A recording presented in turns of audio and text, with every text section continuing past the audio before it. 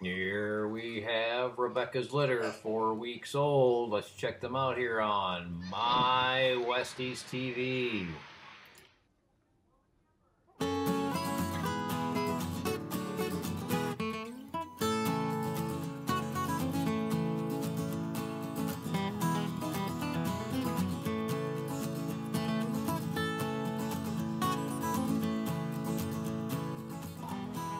Aren't these guys just adorable?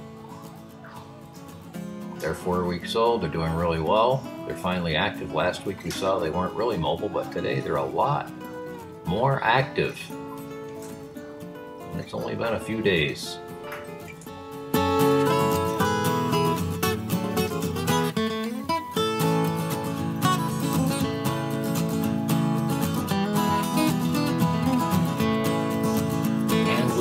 So mobile, they're going to be getting into everything, whether they're in the home, in the yard, or out for a walk.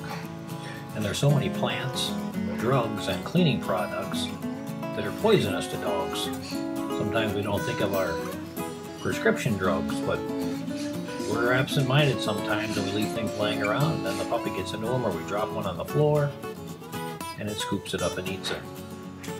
So and it's impossible to list every toxic plant that the Westies are poisonous to. So I'll list a website in the description down below where you can find a list.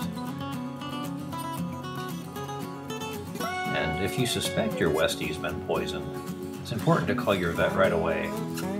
Or you can call the ASPCA National Animal Poison Control.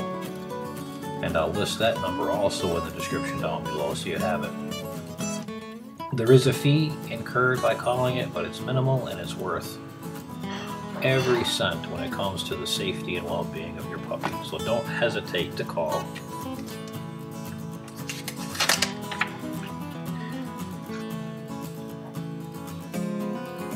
And when you do call, you'll be talking to a real veterinarian and you'll get extremely fast, life-saving advice. So that's it for me today. We want to thank everyone for watching. We want to thank all those who stop by each and every week and watch these beautiful puppies in action.